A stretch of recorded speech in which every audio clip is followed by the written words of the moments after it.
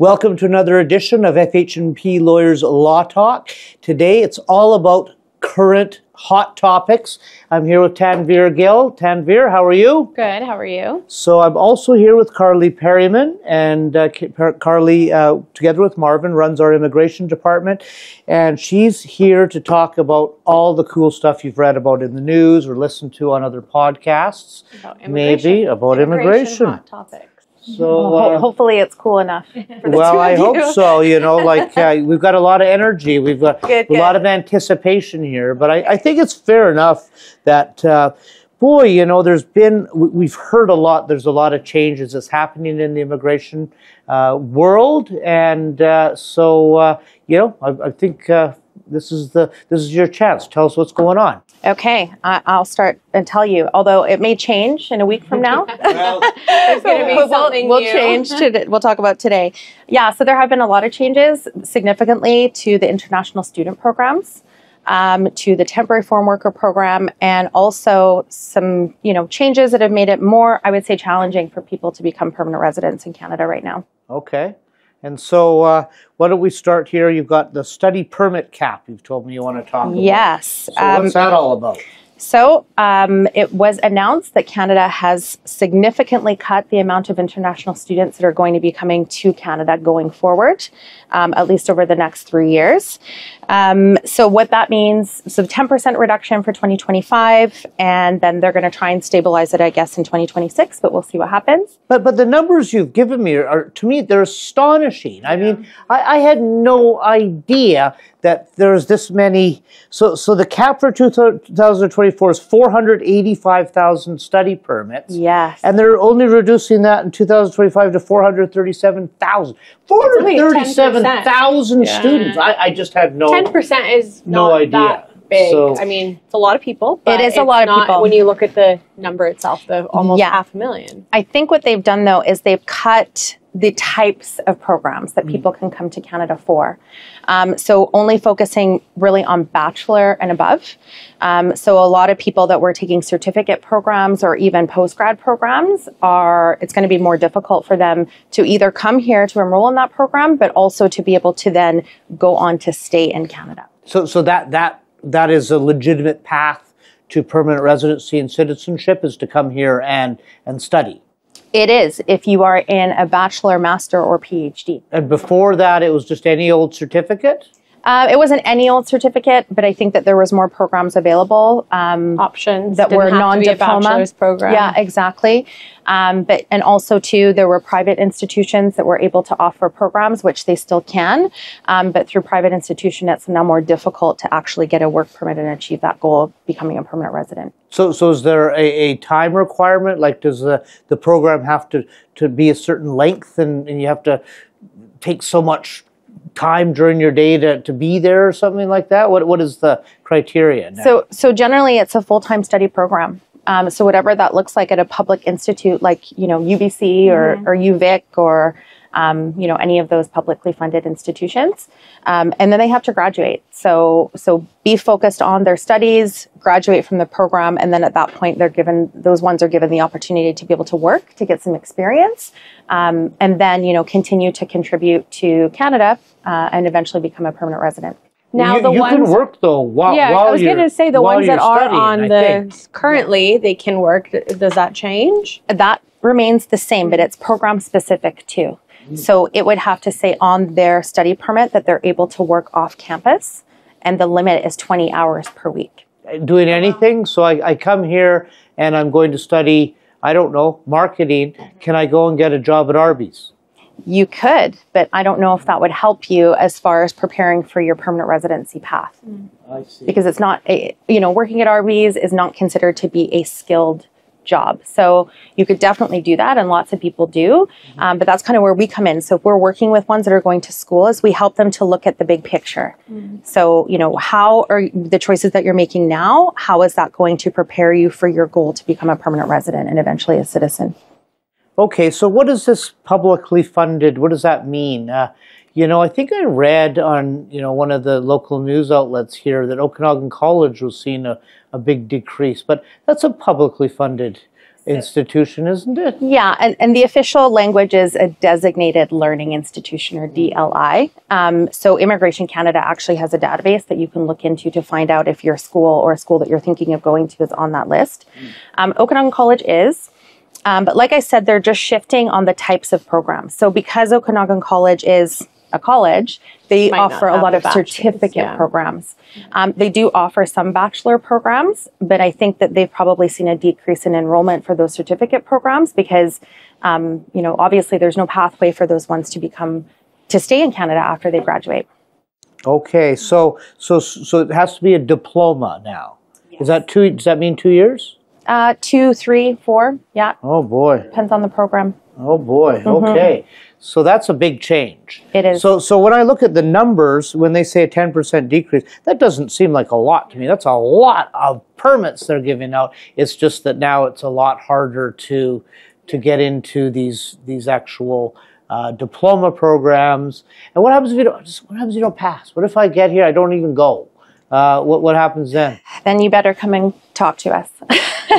I mean, there are a lot of different reasons why people might not be able to follow through on their studies. So um, we definitely work with those clients. You know, some that may have had an illness um, or something happens and they just simply can't afford to continue going to school. Or, you know, in other cases, we've had clients who've had a death in the family. If it was their father that was paying for their education and he died. So those reasons exist. So at that point, we do help those. And there's things we can do. We can apply um, for a work permit for a destitute student so that they can work a little while to get back on their feet. But the intention is for them to get back on their feet and then go back to school to finish their program. Now, what happens to the uh, the the students that are kind of caught in the middle of this? They've they've started a certificate program, and now the government says, "Oh no, you have to go to a special uh, publicly funded school and get a diploma." Uh, are they going to be grandfathered in? Uh, so no, they won't be. Um, I think a lot Wow. of those students are looking at maybe changing programs. Um, so that's what we will normally do is refer them to a publicly funded school, a DLI, to work with their admissions department to see if any of the schooling that they've taken in their certificate program can be used as credit towards getting into a program that is eligible. Imagine being almost done and all of a sudden you Mm-hmm. have to then start again and see if any of that carries over. I know. Yeah, it's difficult. I feel for those ones for sure, but that's what happens. It's the government. is, is there is there any so so after you you um, graduate uh, what is the next step after that towards your path towards being able to work in, in Canada permanently? So most DLIs are eligible for a postgraduate work permit. Okay, DLI is an acronym, and just for, Yeah. for us, what mean? Designated Learning Institution. Okay. So if you graduate from the program that you are enrolled in, then you will be eligible for an open work permit um, up to a maximum of three years, depending on the length of your program. So the intention of that, and you know, we always tell people is make a good decision that your this is your career. So that the job that you pick um, it aligns with your career goals. It is skilled work, so that you can use those three years to work towards your permanent residency. And and at the end of the three years, then what happens? So there's lots of different programs for permanent residency. Um, the most common one for skilled workers is called Express Entry. So it's like it says in the name, it's a fast pathway for those that meet the qualification. So it's on a point system called the Comprehensive Ranking Score. So each person is assigned points based around things like their age. The younger, the better. Actually, anyone over 35 is considered to be old, which is very disappointing, right? You get less points. Um, but, you know, your level of education inside Canada and outside of Canada, your English or French language ability, whether or not you have brothers and sisters in Canada. So basically, all of those points add up to a number out of Is it, the, 1,200. is it the same same point criteria for those applying outside of Canada as inside Canada after they've graduated? It's a different program. So, so the Express Entry is the umbrella, hmm. and within that there are categories. I would say so. Federal skilled worker category, ones that are outside of Canada can apply, but right now. Canada is not prioritizing ones that are outside. They're looking at people that are already here. Mm-hmm. So those people would qualify under the Canadian experience class subcategory, and then there's other sub subcategories for trades as well. So, so that three year, uh, can they do anything as long as they've got a job? This is my career now, or or is that is that ranked on that point system? What they're doing? It's it's definitely ranked. So there's something called the National Occupation Classification, the NOC. Lots of acronyms. Um, so that's a data bank where Canada has decided and coded every single job that exists. I mean, I wish I would have had that on career day in high school. Maybe I wouldn't be here. Maybe I'd be somewhere else. No, I'm just kidding. Um, but yeah, so basically, what it does, it assigns a code to the job, and then that is ranked in a tier system. So it goes from zero, which is management, all the way down to five, which is low skill. So, so you you would you could help there. Then you would say, look, you've got three years here to to get a bunch of points. So that's what we do. Oh, so okay. that's one of the services that we offer. So we offer a 30 minute video consultation. We get information from the person before the meeting so that we can prepare. We can do their CRS score assessment. We can look at their resume to see what their education is, um, look at what their career goals are, and then give them steps and help them to know which program they should be looking at applying for. Okay. And, I, and, and you give me some crib notes here. You put some stuff down about spouses, I guess. So, Ah, yes. so Okay. what is that all about? Yeah, so I mean th- that's a pretty steady program, and I- I'm really grateful for that. So with this, the um, the spousal up until now, you know, there has been the ability for people to bring their spouses to Canada if they were going to school or working. Um, recently, there's been some changes, which has definitely impacting ones that were planning on bringing their spouse. Um, so if you are an international student, you have to be in a master's program or above Wow. to be able to bring your spouse with you and for them to be able to obtain a work permit. That's really is a big change, isn't yeah. it? Because so so now I've got to be in a two-year diploma program at least, and I can't bring my my spouse. Right. So I think that's, you know, when they're looking at that 10%, I mean, it's going to discourage a lot of people from applying Yeah. because they're not going to be able to bring their families with them. I mean, they can, but that means that their spouse is not going to be able to work. What what about in that three-year period? Once I've got my diploma and I'm in that three-year period when I'm trying to get points, uh, uh, can I bring my spouse over then? So, so again, a lot of changes. So it has to be in what's considered to be an in-demand occupation. So right now, Canada has changed that to a management occupation. So if it's in that tier zero and you're working in that job, then your spouse is eligible for an open work permit.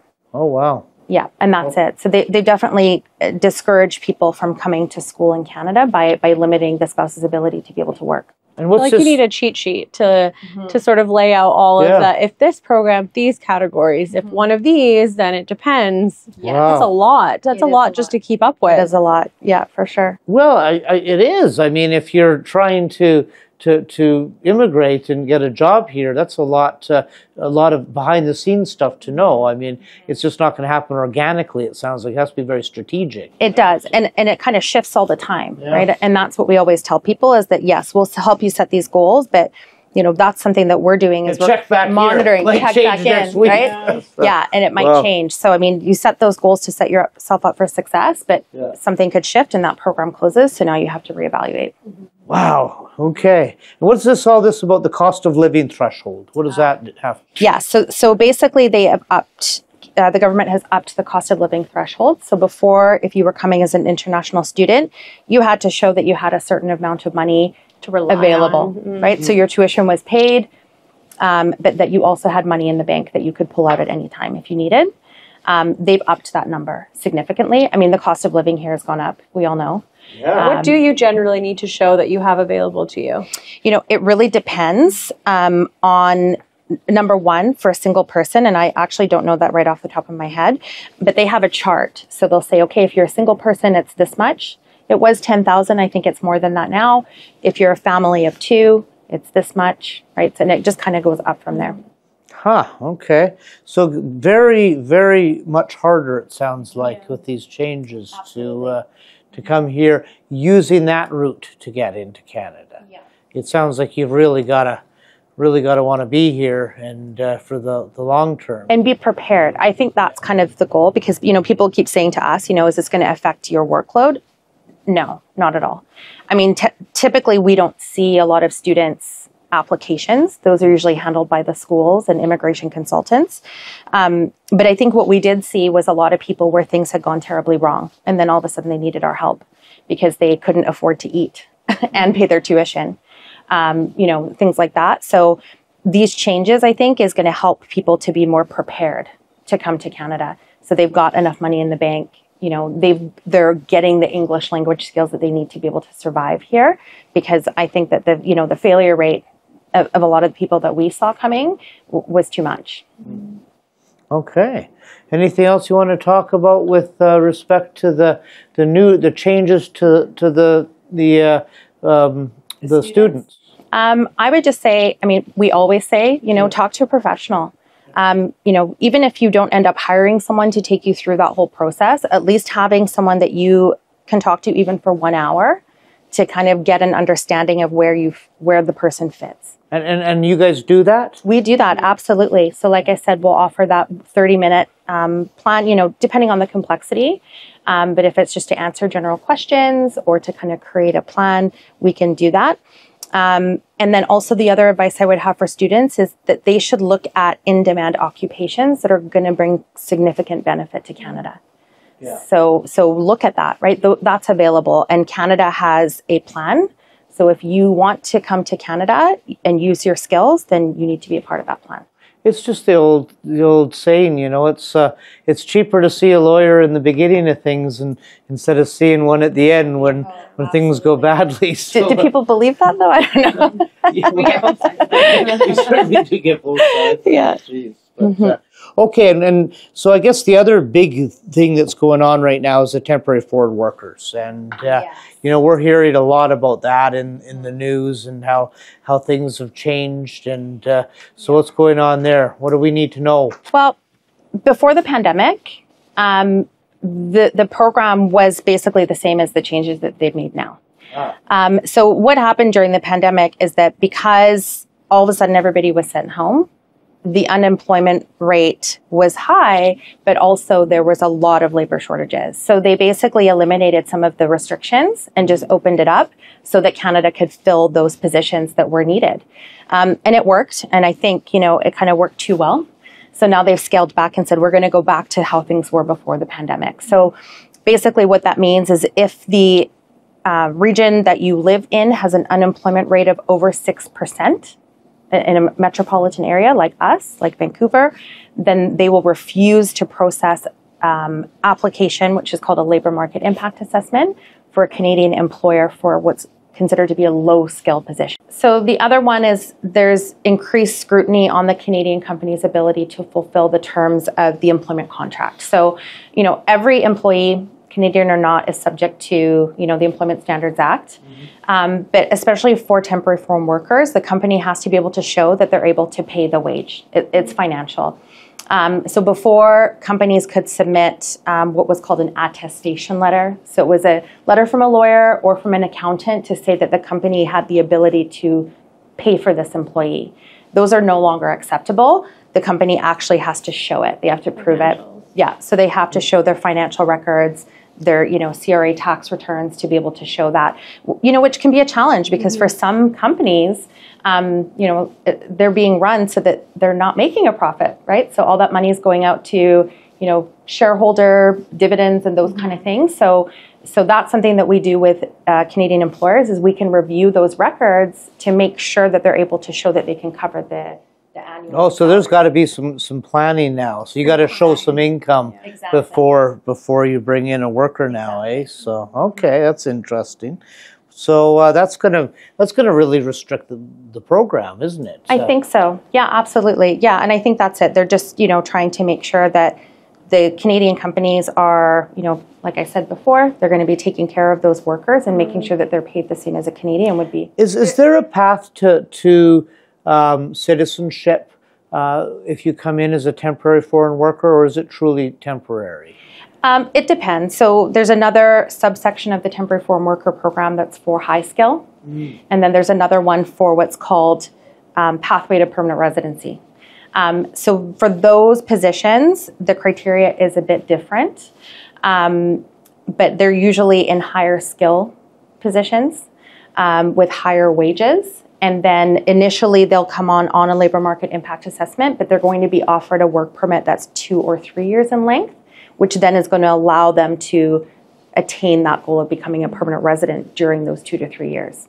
Okay. Wow. Well, uh, interesting stuff. There's there's so, so many ways to look at all the changes. I know um, with the LMI process, I hadn't known too much about it. We've we've had clients that maybe have had it in the past and used it to hire employees, but a lot of what I was hearing recently was that Canadian employers were charging people to have them come in through the LMI process, and this was like forty 60,000 Canadian per worker.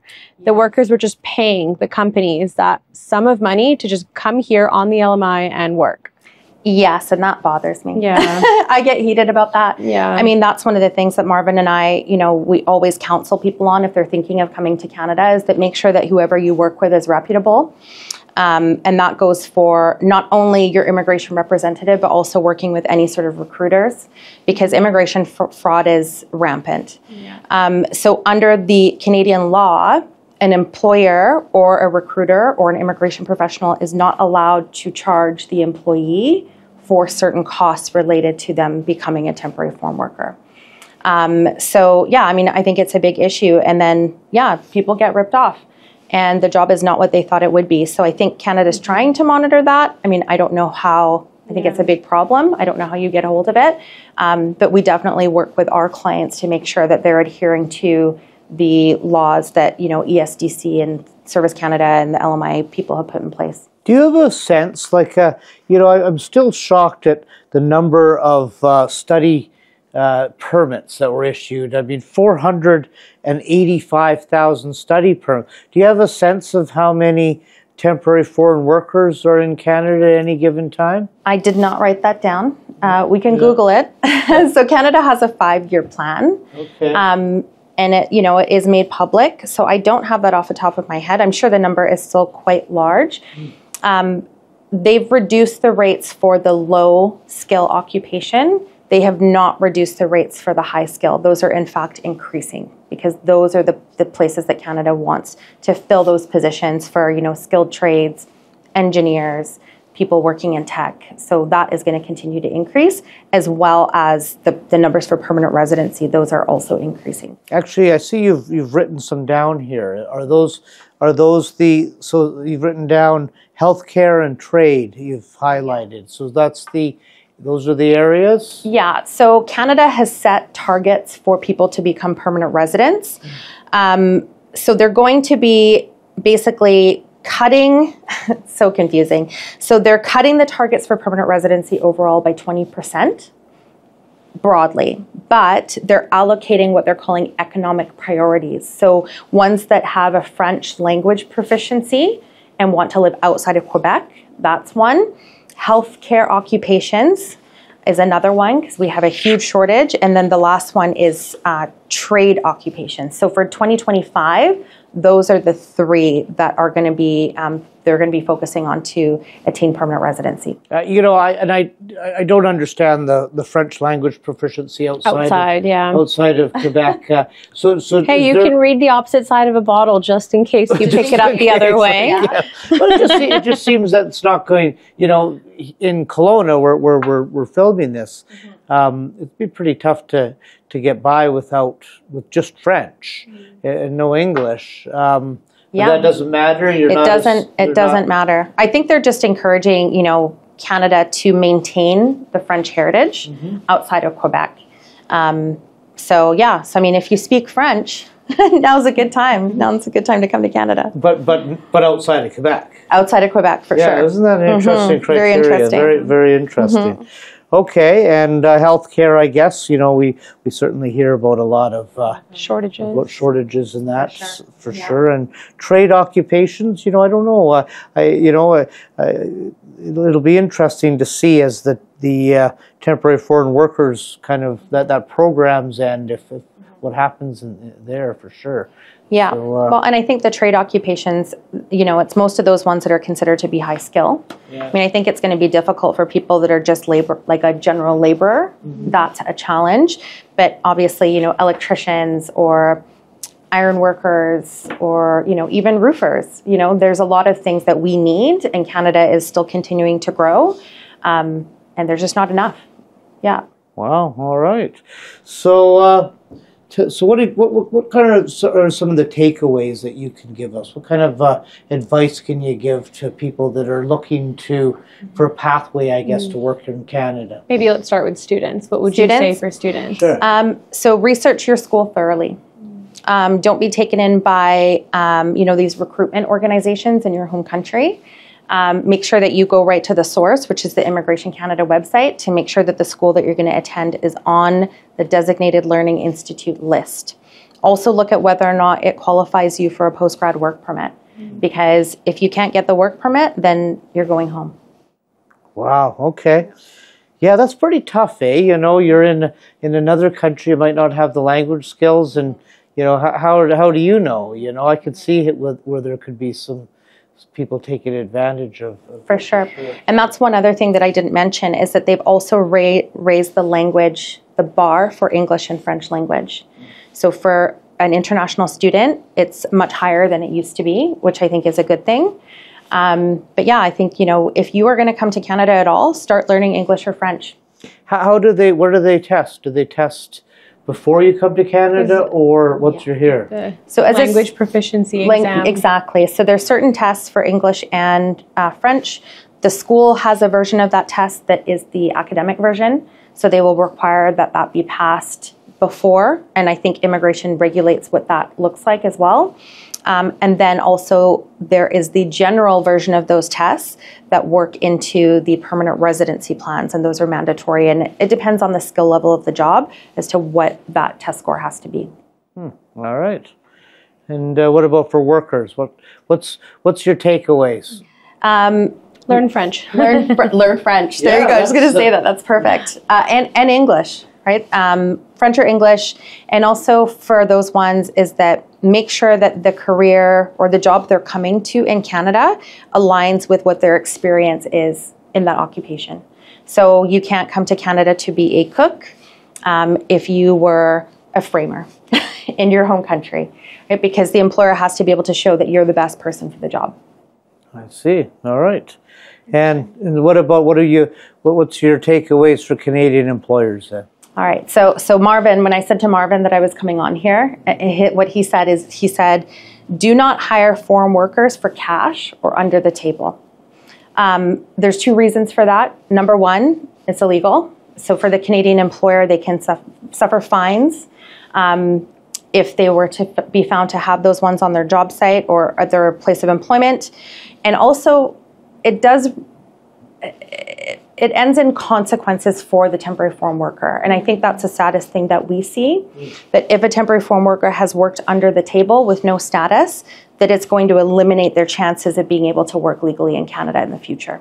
So, as an employer, paying someone under the table that doesn't have a work permit, you're not actually doing that person any favors. All right. Anything else that uh, you want to give some uh, some takeaways or some advice on? h- hire a professional. At least consult with a professional. Um, I think you know, even from our chat today, you can see that there's just so many changes happening all the time, and we don't even know when the new changes are going to come in. We might get days notice, and then all of a sudden we've got something else new to research. Um, so I think if you're, you know, a Canadian employer looking at hiring someone, or you're if a person that's already in Canada or thinking of coming to Canada, just having that meeting with someone that knows what they're talking about, just so that you can get a sense of what your plan is going to be, and then, you know, obviously with any sort of government, um, ha- your application has to be perfect. Um, so that you know, no one's perfect, but we strive for that. Um, we have a great team here, um, where we do, you know, we have a lot of expertise, and we kind of do this kind of layers of checking to make sure that we've done everything as good as we can to make sure that we get the outcome that we want. I, I just I, I, the, the numbers are so high. It just seems like if you were working in the immigration department, there's going to be this huge lag anyway. You know, I I uh, d- is it? Uh, do you find that it's really really um, laggy? Or It can be. I mean, I think right now it is, but there's certain things that we can do to help people in those mm-hmm. positions, and I think a lot of it's about timing. Mm-hmm. Um, well, so just thinking if your your application isn't perfect, mm-hmm. then you've got to resubmit it and go through that crazy. exactly, and that's what we don't. again. That's what we don't want. Yeah. So we want to set people up for success, and um, yeah, there's a lot of waiting. so I mean, hopefully, you know, we can we can be there for you and just kind of help help with patience because you know we've had to develop a lot of it. All right. Do you want to sign off today? Sure. All right. Thanks, Carly. That was great. I think there's just so much to this. And oh my, I think we could have gone on for another hour or so with all the complexities, all the categories, all the different options that are out there for people that are coming in as students, as temporary workers, as employers. There's just so much of it. As usual, it's such an aerial, like overview conversation. Um, if you are an employer, if you have certain questions about your own application, reach out to us, let us know. Um, and Wait, that was that was better than. what do you usually say? I, well, you Next- know what? I don't. I don't think I actually have it. You do have a saying. That was pretty good. Usually by the end, I like I've lost my out. my uh, there's a end job saying. here. Until next time. That's what you say. Until next time. That's right. Thanks.